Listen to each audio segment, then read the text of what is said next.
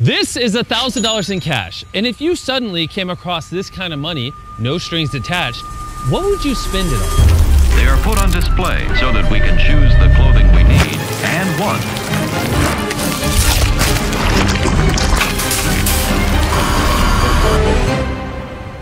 Well, for hundreds of thousands of people in rural Uganda, this money would be used differently. Most of these people live off of as little as one or two dollars a day, meaning getting an education, starting a business, receiving adequate health care, or even electricity is nearly impossible. So I guess the solution is simple, right? Why don't we just give them the money? But on second thought, giving thousands of dollars to people who have never experienced that kind of money before is extremely irresponsible. So when an organization reached out to us to help them do just that, we knew we had to fly over and find out more. Uganda is a beautiful country and is filled with some incredible people. But when I first got approached by Give Directly about this program, my initial reaction was this was a terrible idea. I thought that giving an entire year's worth of income to people that were living in extreme poverty sounded like it was a recipe for disaster. Give Directly uses a strict selection process to identify villages most in need and signs up every single family. They then provide the recipients with a mobile phone and they create a unique PIN number. The money is then sent to their SIM card so they can transact directly or go to a nearby outlet and use their PIN to withdraw cash from a mobile money agent. The limited work opportunities in the community has made it extremely difficult for the villagers to support their families. One of these people is Paul. I have a wife, two kids. This is why I'm staying. My family is eating a day once. That's we eat once, supper time. Those are the challenges we are facing. If Paul had more money, he would not only invest in starting a business in the area, but also ensure that he and his kids can get a proper education. My aim is to, to get that cert- certificate of Singapore. Maybe that life, my life somehow improving from that part. People living in extreme poverty are very limited.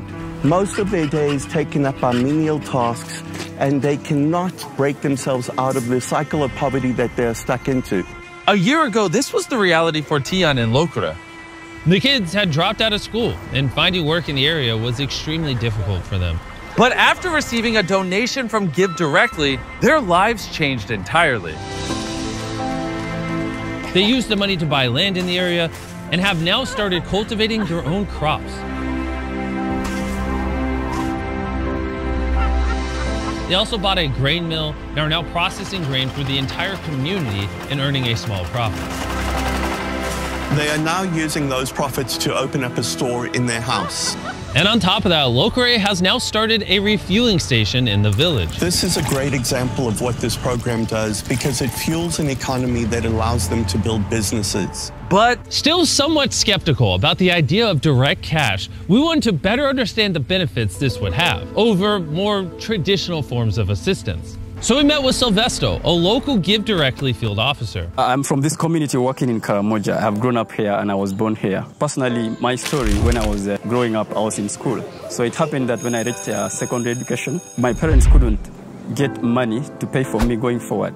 So they had to sell our home for me to go to school. And to me, that is like selling my dreams, to selling my experiences. And that poverty is the most difficult poverty, the poverty of dreams. When I joined Give Directly, I realized that it's really different, a lot different from the charities I have worked with before. Give Directly, we give cash. When cash goes to a community, even business in that community is boosted. This cash enables them to go for their needs, to pursue them. People are stuck in poverty not because of lack of effort or lack of capability. They are stuck in poverty because of lack of opportunity. One of these people is Joseph, the chief of the village.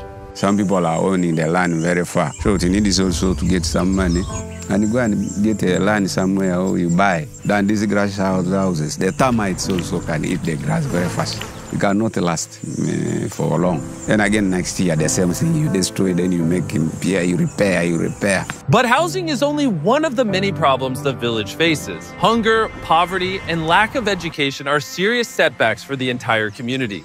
In addition to the burden of leading his village, Joseph suffers from serious health complications. A few years ago, he had a stroke, which left him debilitated, and because he has no money, he's unable to buy the medicine he needs to remain stable. The living is really very hard. I don't know whether I can survive. I don't know really because now a stroke is a difficult disease, whereby I don't know. Everybody here has their own unique needs. And what we've realized is that the best way to help these people move towards a better future is by empowering them to make the best decision for themselves and their families. So we have decided to commit to helping Give Directly provide cash grants to 300 families in this village and surrounding areas that will help them build their future. So while the Give Directly team finalized the recipient distribution process, which would take all day, Dan and Darren explored some more of the village. Where they came across two knife sharpeners. You think we'll do this better? I know, good better. Yeah, boy, you got it.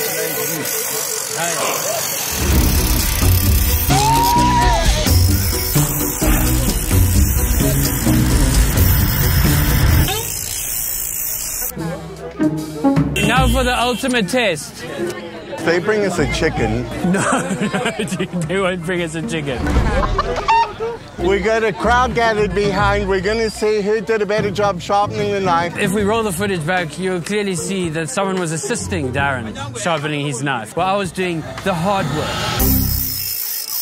This is a professional doing it. Yeah. Okay.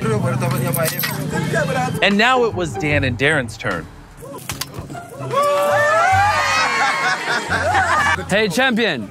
Yeah, yeah, yeah the champion. Yes. Not wanting to accept defeat, Darren wanted to redeem himself. Throughout Africa, it's typical for people to carry their stuff on top of their heads. Dan and I are going to try to do this. Oh my.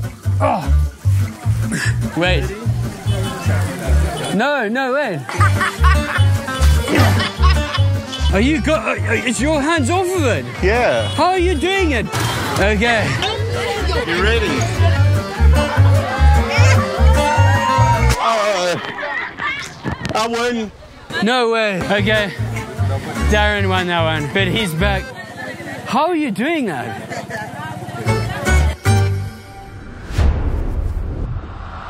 Early the next morning, it was time for the distribution. It's all come down to this moment. All of the money is going to be transmitted in about 10 minutes. These people are finally being given an opportunity to escape the poverty that they've had to fight their entire lives. But out of everyone in the village, Joseph was the most anxious.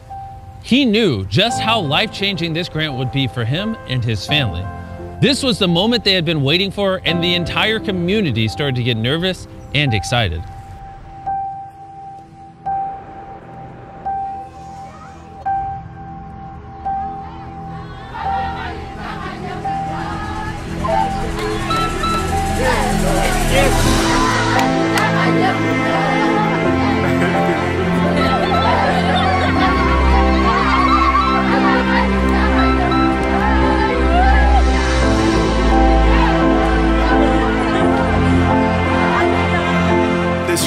Such a transformational moment in so many lives. This is opportunity not just for these people, but for their children and the generations that follow.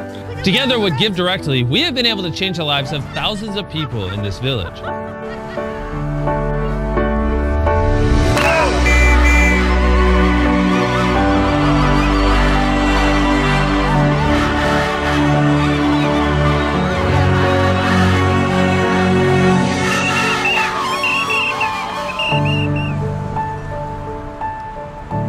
After getting the text message, it was time for the recipients to cash out the money.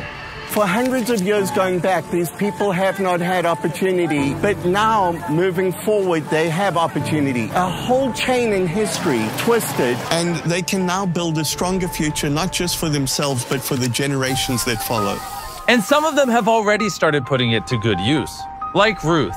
Ruth is a powerful example of what this money is able to manifest. Before I received this money of Give Direct, I had children of which I was not able to help. I could not afford even medication. I was just a housewife, so life was hard.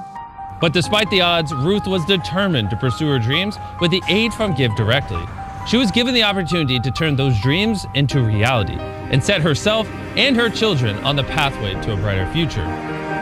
She she is now able to use her entrepreneurial spirit and drive to improve herself, which will in turn improve her community as well. I am able to cater for my family needs. And right now, life is just simple. It's not like the very way that I lived before. But Ruth isn't the only one who put her money into starting something amazing. Meet Ayuma, a woman who has dedicated her life to education. After years of grueling work and saving every penny, she finally had enough money to buy land. And with the help of the payments from Give Directly, she was able to build classrooms, toilets, and even hire seven teachers. And today, this school has an attendance of more than 200 children. The money was also used in a much needed pharmacy in the community, help pay for school fees and uniforms for thousands of children, and even build homes for hundreds of families. And these are only a very few examples of how this money was spent. When these people are given the smallest opportunity, they seize it and they jump on it right away, knowing that they now have an opportunity that they never had before is probably one of the most inspiring and motivating things that I've ever experienced in my life. To round off the trip, Darren visited one more school, which with Give Directly's contribution was able to go from 650 students to over 980 in one week because their parents could now pay school fees and buy uniforms. Little children, little, little children, obey your parents, little children. You can hear the thunder right behind me. It had actually just started raining, but as soon as the children started singing, the clouds cleared and it's bright over here. That was quite an amazing experience. Give Directly proved our initial skepticism was unfounded and that there are so many new ideas for us to consider for how we can all build a brighter future together. But there's plenty more need. So we're teaming up with Give Directly to deliver cash to another village just a mile away. If you want to help, click the donate button or go to givedirectly.org slash beast so we can help more Ugandans in need together. Subscribe.